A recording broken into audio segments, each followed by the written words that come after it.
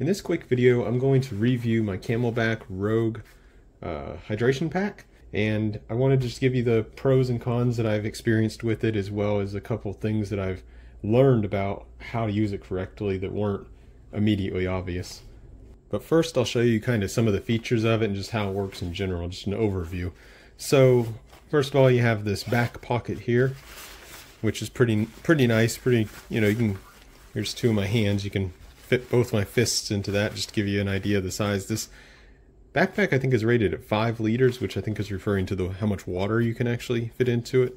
Anyway, though, in this small uh, pack here, you do have this little uh, thing here for your keys. Honestly, I've been too lazy to use it, and I just throw my keys in there. But that's pretty handy. Um, behind that, so you have this this here, you can put small things in. But then actually behind it, you have another pocket right here, which I actually use quite a lot and it's a bit stretchy, just a little bit, not totally. Um, and has some kind of like a stretchy. Let me see if I can zoom in. Stretchy kind of fabric right there, which is pretty nice uh, for kind of jamming a bunch of stuff in there. I'll try the same same thing as I did before. Put my arms in there, give you an idea. You know, the size maybe. I've had like a bike pump, spare tires, different things like that in here.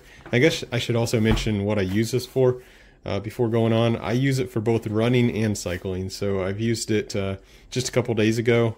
Uh, I did a run. Actually, it was a bike ride and a run. I, I rode my bike to the to the run, uh, so I could put my keys in here. Plus, I got I had water, plus my wallet, a couple other items. And then when I locked my bike up, I was able to just run with everything on my back except for my helmet.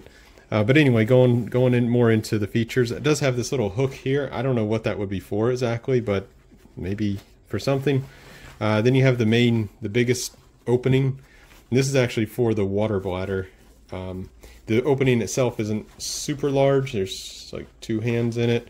Um, but what it does have is one of the things that I haven't used too much is this in, in another pocket inside here.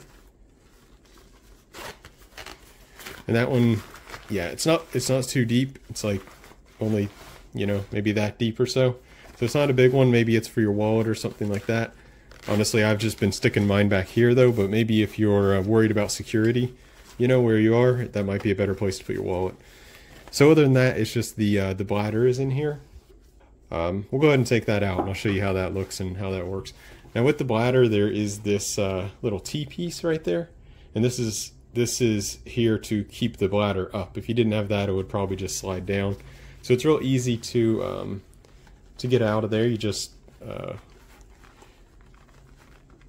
pull these off like that, and then then you also want to pull the hose. It goes through here. You want to pull the hose out like that. This is your drinking hose, of course, if you didn't know. And I do like how this how this one works. It's like a, a, a nice soft kind of rubbery material, and you bite down on it, which opens it and allows you to uh, suck the water out of it. And it also has a shut-off valve right here, which I've never really needed to use. I just have I've just been leaving mine open all the time. But if you want to shut off here, then then it won't allow any water to come out. Anyhow, once you have that pulled out of that little passage, you can pull the whole bladder out like I said, I just used mine the other day, and I've been too lazy to actually uh, actually uh, put it away. Oh, maybe I was wrong about the volume because here it says two liters, so maybe this one's only two liters. Um, I think I said five earlier. So you can fill it up to however much you want, half a liter, uh, one liter, 1.5, or two liters. Uh, one thing I really like about it though is that it has this handle, and that's so nice for filling your your bladder just go like that, put it under your sink, water goes in, no problem. So I had one before, a much cheaper one. I got like for 10 bucks somewhere, and it didn't have this, and it was always such a, a mess trying to get the water in, but that really makes it easier. I never had any issues with leaking or the seal, anything like that. I think I got it on right. Yeah.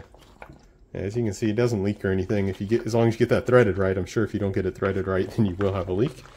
But um, yeah, it's it's really worked perfectly.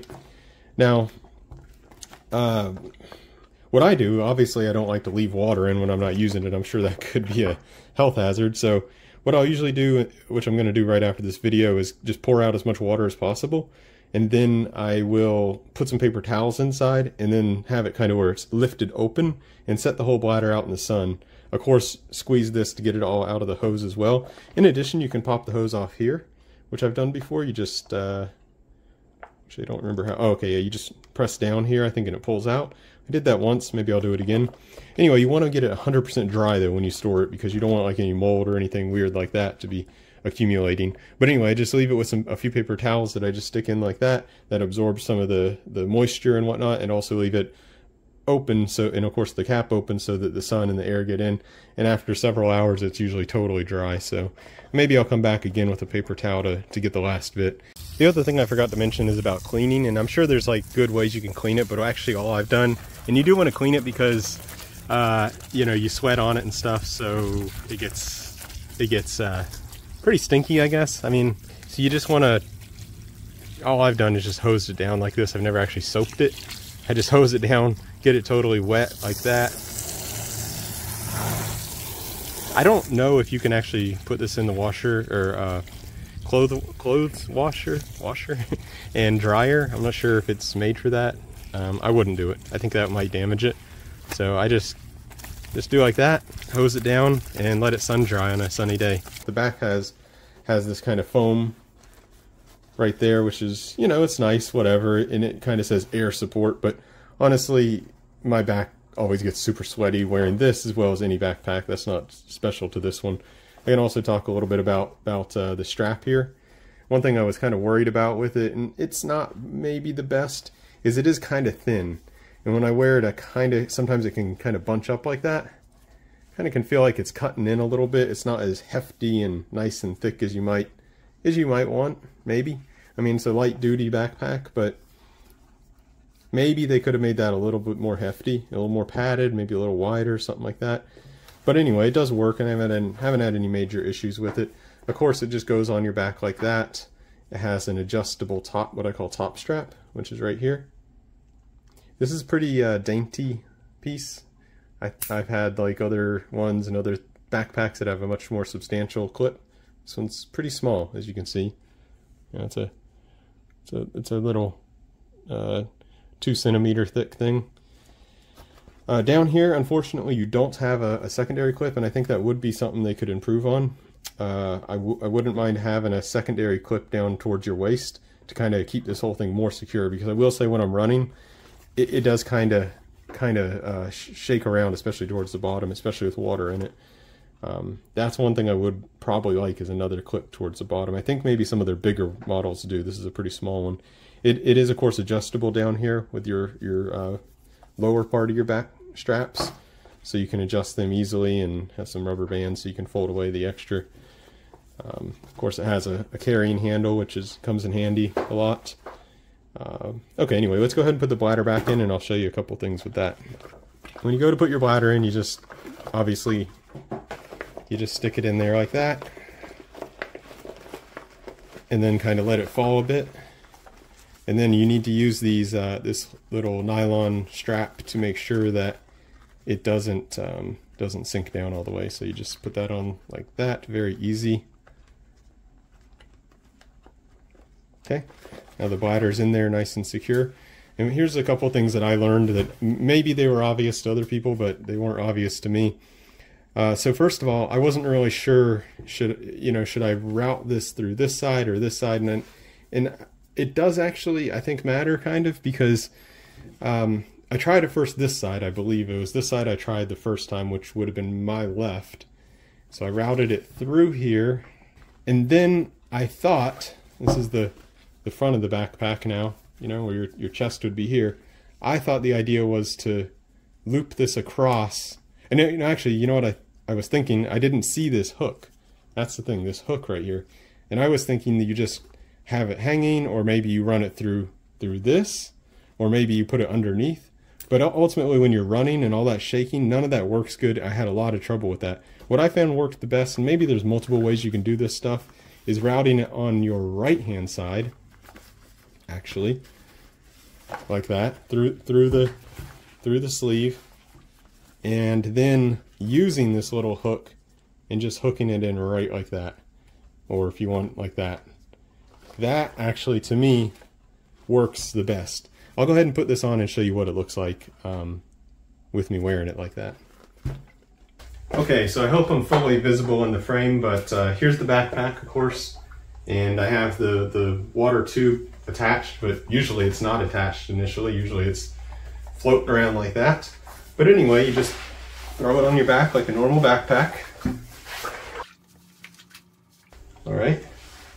Then you grab your, your clip, clip it like that. And so then the water hose is just kind of flapping around. But you have this here, you can connect it in like that and it just kind of, you know, stays like that. So you're running, no problem. You can pick it up, drink, let it back down. So that's how I've been using it and yeah, it's been working really well. I have one more tip I want to show you though. Now I'm not going to take this out completely, but the last tip I want to show is, you know, I guess I can take it out completely because I'm going to be emptying it anyway.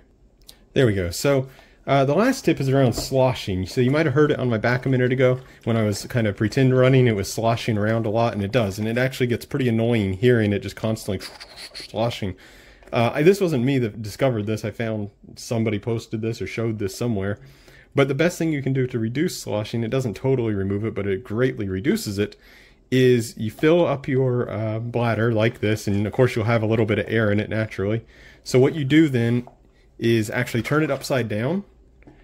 Once you're now you do this over your sink, of course. You squeeze your um, your opening, and then squeeze the, the the bladder and get all that air out of it until water starts squirting out of there. So basically you'll have no air in here. And when you have no air, you get a lot less sloshing noises and uh, it's a lot nicer that way. So that's pretty much it about this um, this Rogue, CamelBak Rogue backpack. I guess overall I should tell you I'm really enjoying it. Uh, a couple, maybe maybe in the future I would get one that uh, maybe is slightly bigger, has a, a, a lower cross strap too to make it more secure. I don't think this is really a dedicated running backpack. It's probably more more in line for cycling um, and just general hiking, but uh, it does work for running as well as hiking, as cycling. I'm going to keep using it. I really like it. Maybe I'll get a, a better one one day, but uh, overall, I'm pretty happy with it. If you if you're interested in getting it, I'll try to leave a link to it, uh, Amazon affiliate link down in in the description somewhere. But uh, yeah, that's about it. Thanks for watching the video. See you guys next time. Bye.